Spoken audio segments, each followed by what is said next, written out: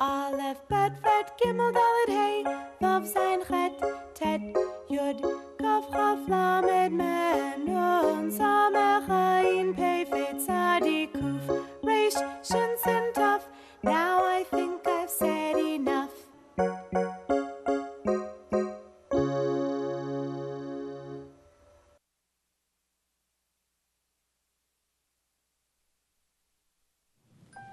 Welcome to another lesson in our series From the Aleph Bet, a series for anyone of any age who wishes to learn how to read and understand Hebrew, especially the Hebrew that's used in the experience of Judaism here in the United States. I'm Mark Golub. It's always a pleasure to be with you. Thank you for all your emails. Keep them coming, and we'll do the best we can to respond to some of the questions you're asking about Hebrew and how Hebrew is used in the experience of Judaism.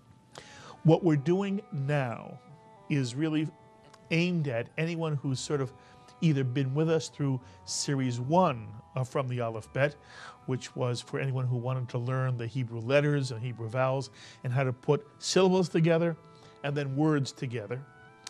And it's also for anyone who already knows the Hebrew alphabet, but has never had the chance to learn what the words they're saying mean. So many of us have learned how to pronounce Hebrew without learning it as a language. So what we're doing here is helping those who've never pronounced Hebrew before to be able to read Hebrew words and pronounce them, and also for anyone who wants to know more about the meaning of Hebrew, the vocabulary of Hebrew. For them, we're hoping that this series, especially series two in our From the Aleph Bet work, will help you understand more about what you're saying whenever you want to use Hebrew, again, in the experience of Judaism. So, right now, we're working on Jewish blessings as they're expressed in Hebrew. Blessings are some of the first things young people are taught, some of the first things one would need in the experience of Judaism. And we've shown you that very often the, there is the same opening words to every Jewish blessing. And there's a shorter form, and then we're also going to work on the longer form. But let's go through the short form slowly and see if you can pronounce all the words and understand all the words we've learned so far. You see on the screen now the beginnings of the Hebrew blessing, and the first two words are always the same. Can you read the first word? Two vowels, two syllables. The word is Baruch, Mitsuyan, and it means blessed. It is the past participle of the three letter root Bet, Resh, Kaf, blessed. And the second word is the pronoun, two vowels, two syllables, simply read, Ata, Mitsuyan. And hopefully you remember that the word Ata means you, Mitsuyan. And you put the words together, Baruch Ata, you get blessed are you. Remember, in Hebrew syntax, the verb normally precedes or often precedes the pronoun. Baruch atah, blessed art are you, or blessed art thou. You'll see in many prayer books.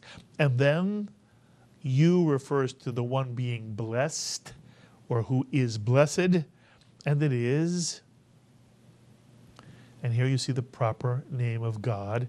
And we never pronounce God's name, we always say instead the word Adonai. Incidentally, some of you may pronounce this word Adonai. I've heard people who read pure Sephardic Hebrew, when, except when they see the proper name of God or the abbreviation of God's proper name, and then they don't say Adonai, which would be Sephardic Hebrew, they say Adonai. So very often you'll hear Baruch Ata Adonai. Why? Because that's the way they've heard the word Adonai since they were little children from their parents and their grandparents. And the experience of Judaism, and I want to say this over and over again, the experience of Judaism is most a family experience. And therefore, even though Baruch Ata Adonai is not technically correct Hebrew because it mixes two dialects, the Sephardic and the Ashkenazic, and sometimes it's called Ashkephardic Hebrew. Although it is not purely correct, it doesn't matter. It matters what makes a person comfortable. So as long as you understand, there's a little bit of Sephardic, a little bit of Ashkenazic, you want to say Baruch Ata Adonai, be my guest, and no one should make you feel like you're saying it wrong. But the pure Sephardic Hebrew would be Baruch Ata Adonai. And we know that when the rabbis created the Jewish blessings, they never would actually write God's proper name out of respect for God, and therefore they used the abbreviation of God's name, taking the first letter of God's name and doubling it, and so double Yud stands for God's proper name, and we also say Adonai when we see it. And so the first three words of the Jewish blessing are Baruch Ata Adonai. And of course, Adonai is our God. And the word for God in Hebrew is Elohim. And here we have, by adding the suffix nu at the end of a word, the suffix nu is a possessive pronoun, is the first person plural our, and therefore this word becomes our God. Can you read it and pronounce it? Three vowels. Remember the chataf segol under the aleph is not a vowel. We never count a shva, whether it's pronounced or silent, as a vowel, and therefore the entire first syllable is Elo, Mitsuyan. Second syllable, which has the accent mark under it, the vertical line next to the vowel tsere and under the letter hey, and therefore the syllable is pronounced hey, Mitsuyan. The yud, since it does not have a vowel of its own, is part of the preceding tsere vowel, hey, and the simple nu, Mitsuyan. Put the word together, Eloheinu. And the words Adonai Eloheinu is Adonai our God or the Lord our God. Let's try now the first four words together. I'll say it first, you say it after me. Baruch atah Adonai Eloheinu. You try it. Baruch atah Adonai Eloheinu. Mitsuyan, and those four words mean, Blessed are you, Adonai our God. Or blessed art thou, Adonai our God, either one. And then the next two words are words you know from the first series of From the Aleph Bet. Melech is the Hebrew word for king, Mitsuyan, though we explained last time that Melech also has the sense of sovereignty in general, without gender, neither male nor female. And therefore, the crown and scepter representing sovereignty is also what's meant by the word melech. And olam comes from the root ayin lamed mem, which has the sense of infinity in Hebrew, and therefore the noun with this root has the sense of infinite space, infinite matter, infinite everything, the universe. And we pronounce this two syllable word as O is the first syllable, Lam is the second syllable. Put the word Olam, Mitsuyan. Olam is universe, sometimes translated as world, but world in the greater sense of universe, of everything that is. And we put the definite article in front of it, syllable ha, and that's translated as the word the in English. And ha olam is the universe. And the two word phrase that you can now read and understand Melech HaOlam, sovereign of the universe, or very often in the prayer book, King of the universe. But you understand it has a greater meaning than a male king. It is ruler of the entire universe. And therefore, the first six words of Jewish blessings in Hebrew tend to be Baruch atah Adonai Eloheinu melech haolam. Blessed art thou, Adonai our God, ruler of the universe, sovereign of the universe. Mitsuyan. And those are the words which tend to begin most Jewish Hebrew blessings.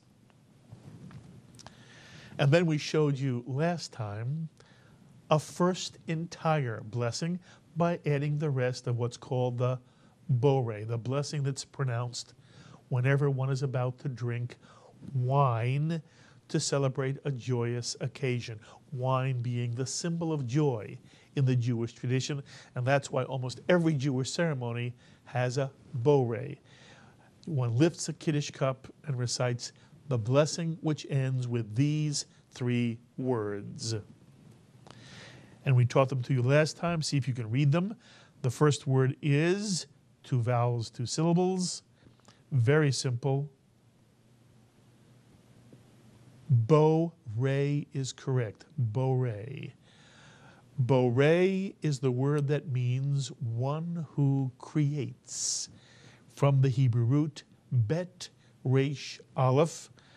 And we showed you last time that you can imagine that the cholam after the first root letter, when it is in this noun form, is the number one, and therefore it means one who, and whatever the root is, and the root bet has to do with creating, and therefore borei is one who creates or a creator. And of course, it refers to God as the ultimate creator. And then the last two words, pre-hagafen. Pre is a one vowel word with a pronounced shva under the pay. Pre. And the second word of the phrase, a three vowel word Ha is the definite article the, and the word is gafen, with the accent mark under the gimel to tell us we should accent the ga in the word hagafen. And gafen is a vine, hagafen is the vine, pre hagafen is fruit of the vine, and normally it refers to grapes. And therefore, the end of the blessing is Borei Pri Hagafen, creator of the fruit of the vine. And now let's do the entire blessing or bracha, which is what a blessing is called in Hebrew, a bracha. Let's do the entire bracha together. Baruch atah Adonai Eloheinu olam borei pri hagafen. Blessed art thou, Adonai our God, King of the universe, sovereign of the universe, creator of the fruit of the vine. And that's the blessing we learned last time. I want to show you some more Hebrew words so you can do, again, one of, if not the most well known of all brachot, of all blessings. Here's the first word. How many vowels? two vowels is correct. Can you read the first syllable? Very good. Mo is correct. And the second syllable, that's a tsadi. The tsadi makes the TZ sound, as in the word Mr. and Mrs. Katz. Tsi is the second syllable, mitsuyan. Put the word together, you get motzi. Mitsuyan, motzi. By the way, this is a tricky word, and I'm not going to go into how the word is created.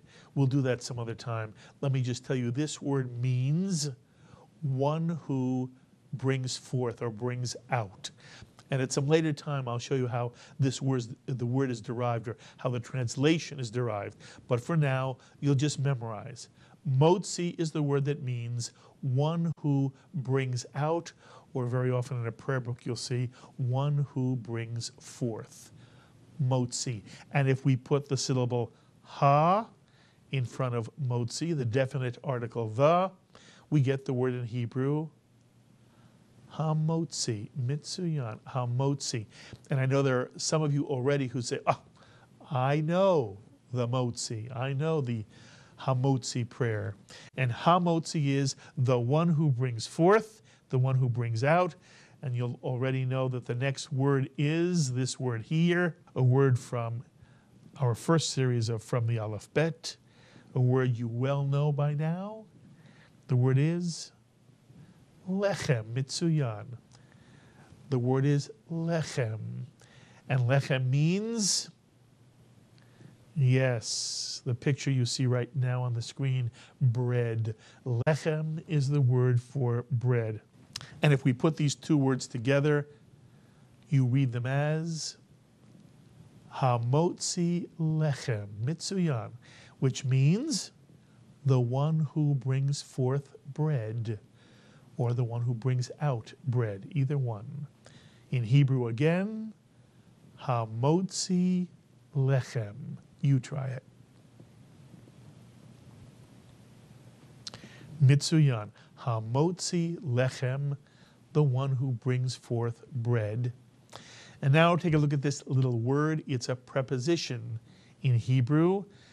It's a one syllable word pronounced as min, mitsuyan. Or sometimes you'll hear an even shorter E under this word as if it were written min.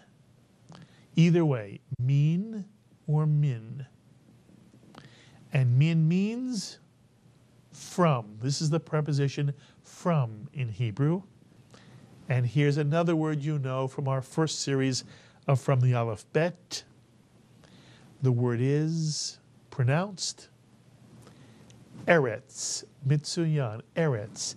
And do you remember what Eretz means? Yes, it means earth or land. Eretz. And now I want to show you something very interesting. Very often you'll hear people who have been taught just how to pronounce Hebrew, not how to read and understand it, but just to pronounce it. They'll always say, I always need vowels to be able to read a word.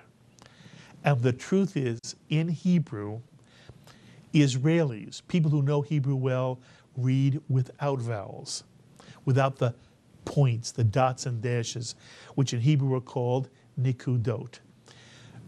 Professional Hebrew, Hebrew that's used by people who really know the language, normally use Hebrew without the nikudot. And therefore, look at the word for earth or land without vowels. And I've said to you before, once you know what a Hebrew word means, once it's yours, you don't need the vowels. If you look at this word, you'll know it means earth or land, and that in its basic form it's pronounced eretz, mitsuyan. I want to show you a different word. Here's a word without vowels. Can you tell me what this word is? And if you said Shabbat, you're correct. Shabbat, here it is with the vowels. Without the vowels, with the vowels. And I want you to understand you can read this word without vowels as easily as you can with vowels. Here's another word without vowels. Yes, it's the word we just saw before. The word is lechem, for bread. Without vowels, with vowels. You can read and understand this word because this word is yours. Once a word is yours, you don't need vowels. Even more than that, it's easier to translate without vowels. And I'm going to show you what happened to me as a child. And I was, again, vocabulary was never stressed as much as we're doing here on From the Aleph Bet. But here's the word for earth or land without vowels. And I'm going to add a letter in front of the word, which you know is the definite article the.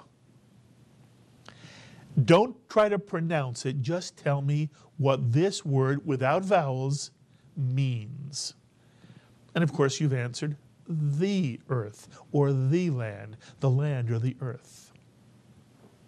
And now I'm going to put the vowels back in. And notice the vowels are no longer segol, segol under the aleph and the resh, but all of a sudden there's a kamatz under the aleph and therefore we pronounce this word not ha'eretz, but ha'aretz. Mitsuyan, ha'aretz. And there were times when I would look at the word aretz, but maybe I just didn't get it. Maybe there are those of you who studied Hebrew in Talmud Torahs and you knew right away that there was no difference between the word eretz and aretz. But I would sometimes see the vowels change and assume that the word had changed, that the word had a different meaning. Without vowels, it doesn't matter. And when you go to translate, very often you should try to see the words without vowels. You'll have an easier time translating. Haaretz is the same as haaretz. It means the land or the earth. And now try this two word phrase Min haaretz. Min haaretz. And it means from the earth. Mitsuyan. From the earth. And now put these words together, first in Hebrew and then tell me what these words mean. You try first, then I'll read for you.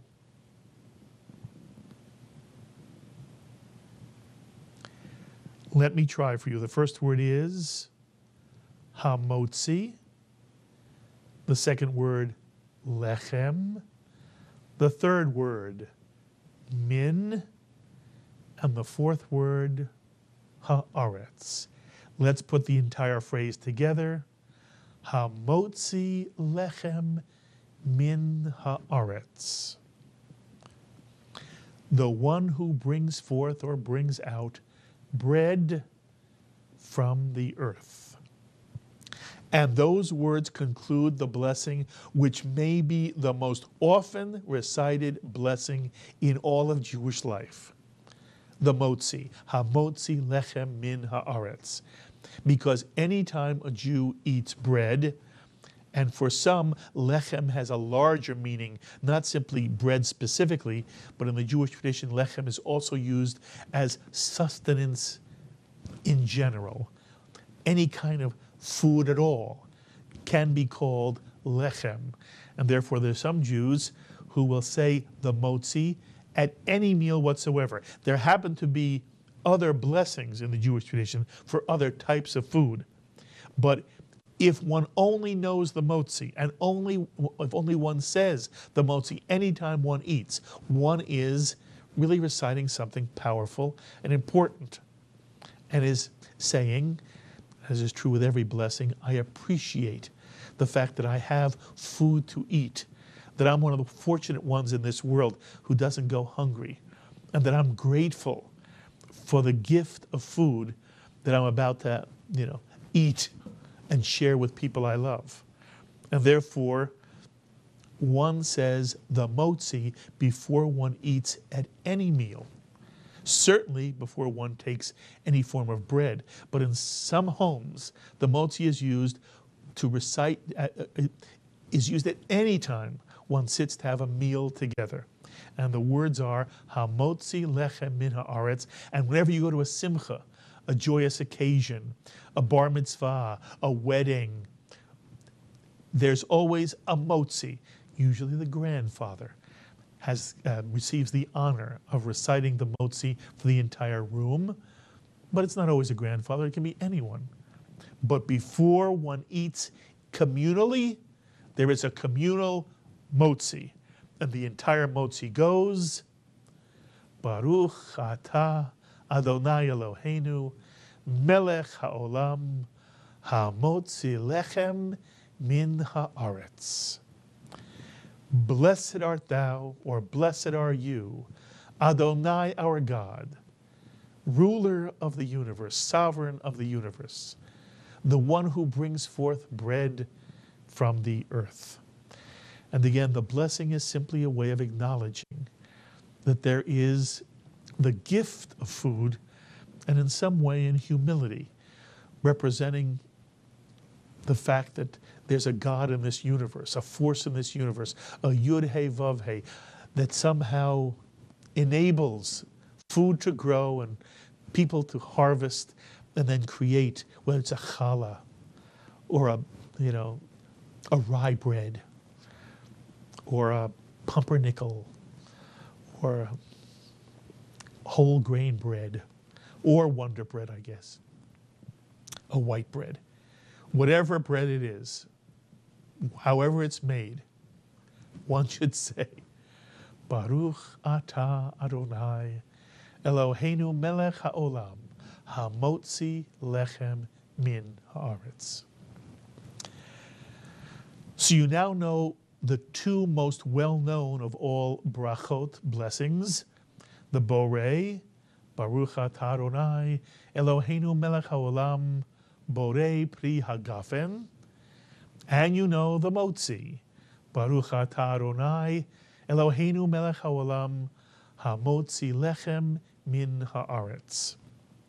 When we meet next time, we're going to show you the longer introduction to Jewish blessings, and we're then going to show you the blessing that's used in Jewish homes all over the world every Friday night when it comes time to light the candles of Shabbat.